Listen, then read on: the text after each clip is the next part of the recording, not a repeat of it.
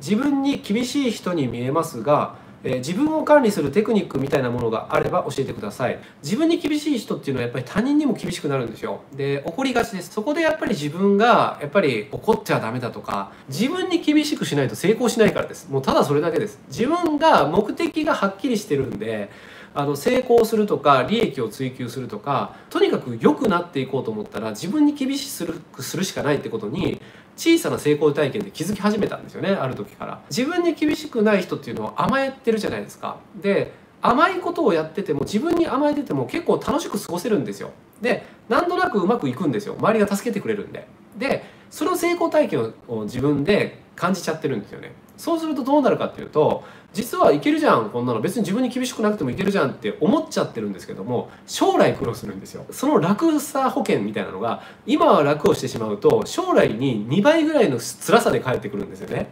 なので僕としてはあの楽すればするほど将来苦労すると思っちゃってるんでむしろ僕は楽をしたい甘えたい人なんですよ。なので自分に厳しくしてるっていうそんな感じですかね。で年を取れば取るほどすごく楽になってきてるんですよね。